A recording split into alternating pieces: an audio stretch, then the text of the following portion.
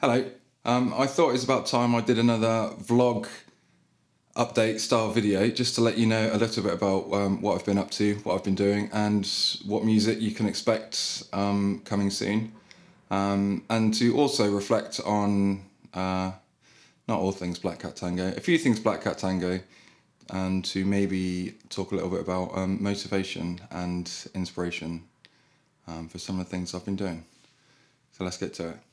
First thing, I wanted to say thank you. There's been a, a, couple of new subscribers recently, so I want to say thank you for subscribing to a channel that um, doesn't release music regularly and hasn't released anything in a, a good few months. So that um, that makes me smile that you're uh, following, waiting for the next thing.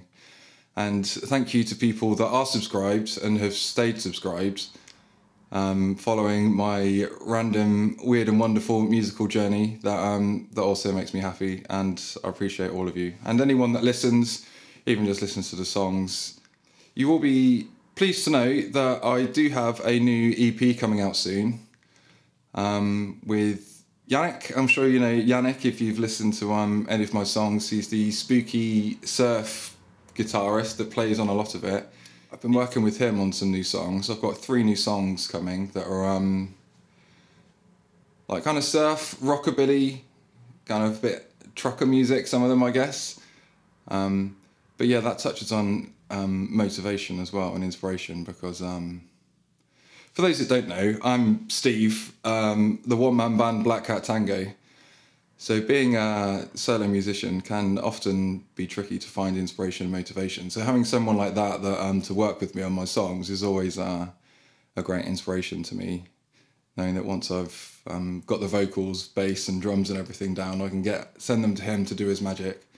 So yes, there will be a new EP coming soon. Um, so what have I been up to? I those you could probably tell from my last song. Um, no one said that I took up uh, learning the banjo recently. That was what was keeping me entertained in lockdown.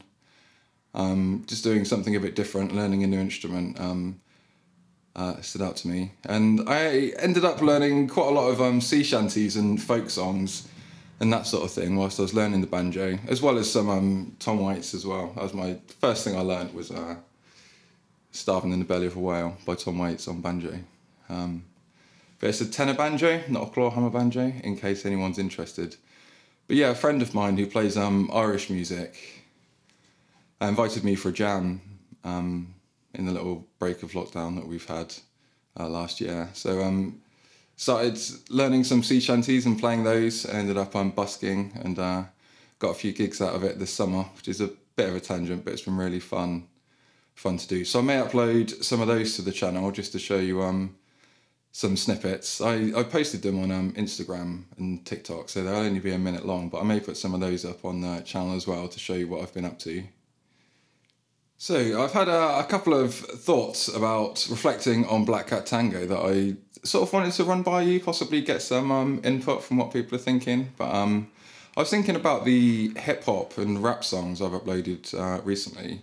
So I've always known that was a bit of like a, a curveball for the for the channel and my music, and always felt like it might have alienated the um, some of the fans that I did have um, in the first place. Um, but it was more of a, a personal thing for me at the time to um, you know have an outlet for some of the um, uh, mental health struggles I was going through at the time. I was always aware it was a bit of a curveball, and um, may have alienated some people. But I always hoped that it might be some people might be able to relate to it and I perhaps could have done it on another channel or something, but I. It's not like I had loads of, um, you know, a massive following to then go create something different. So I just uploaded it all to the same place. Um, but recently I have been thinking about it. In that, um, so my most popular songs are "Devil Woman" and the Daddy's Lambo cover. So I imagine a lot of people come to my channel expecting more stuff like that, and then might even be dissuaded hearing that, oh, this isn't what I thought it was he's doing something completely different. But, um, so I've been tempted recently to um, like branch out from it, I guess, because I'm probably not going to record any more um, like hip hop. But so what I was going to say was um, from like a, a, business marketing point of view, I hate that talk, but there we go. Um, it doesn't really make any sense to have the Black Cat Tango channel with all the spooky, guitar-y, jazzy, rockabilly things, and then have rap on there as well. I always thought it stood out a bit like a sore thumb. So um, I've been tempted recently to maybe take some of it down. I don't know what you think. You could let me know in the comments. But um, so I could take some of that down off of um, like Spotify and Bandcamp and stuff, and then perhaps just leave it on the YouTube. Um, on the YouTube, sound like an old man. So I could just leave it on my YouTube um, for if anyone that does like it and listen to it can be like, oh, where's it gone? And then you can still listen to um, listen to it for free on on here. Um, so they'll all still be there. But um, yeah, I always I think that makes a bit more sense going forward to have a more clear direction of what my um, my sound is, what the Black Cat Tango sound is, and maybe streamline streamline us a little bit so it makes a bit more sense. But um, I know a few of those songs have um, helped people because they are about depression and mental health. So I don't want to get rid of them completely, and I am proud of them. Um, even though it doesn't make sense. Even in the old vlogs, you could watch and tell I was uh, a bit torn about what I should do with them. But um, they did help me at the time. But perhaps now it might be time to um, make Black Cat Tango make a bit more sense and have a bit more of a.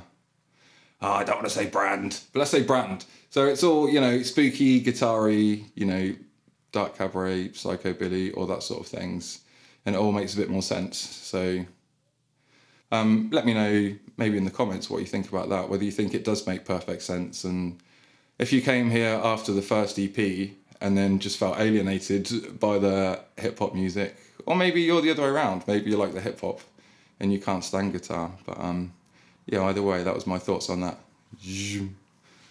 That was my weird cut. I don't know if it worked. Cut.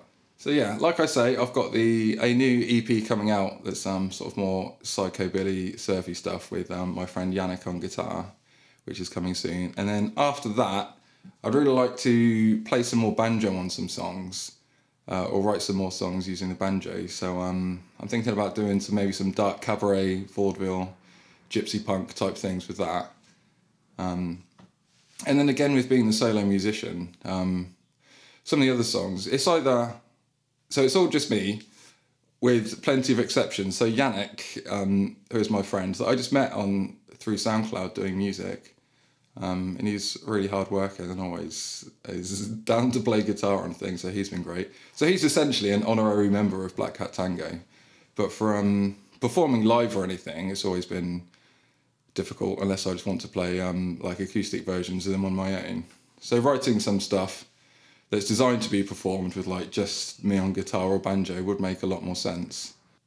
So yeah, in the future, or maybe after this EP, I'm gonna get writing some um, maybe dark cabaret, banjo, um, sorts of things that I think will go nicely with uh, the rest of the music and sound good.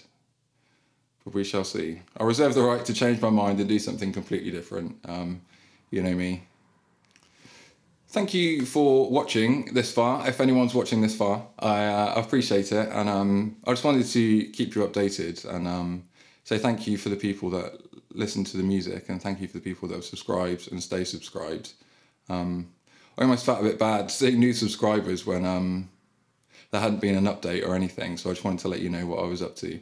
And there is some new music coming soon, and then uh, what sort of things you can expect after that.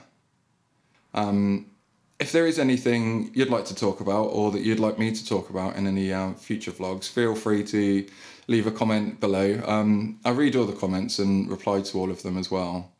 So um, if you do have any thoughts or there's anything you'd like to hear me talk about or any questions or anything, I could definitely do some more of these that aren't just me um, waffling about myself and what I've been up to for 10 minutes or more. Let's see. Let's see I'll thread. We'll try and get it down to below 10 minutes. Um, but yes, thank you for watching. Thank you for following me, those that you have had that have so far, and welcome to any new people that have just subscribed to Black Cat Tango. Um, yes, I'll speak to you all very soon.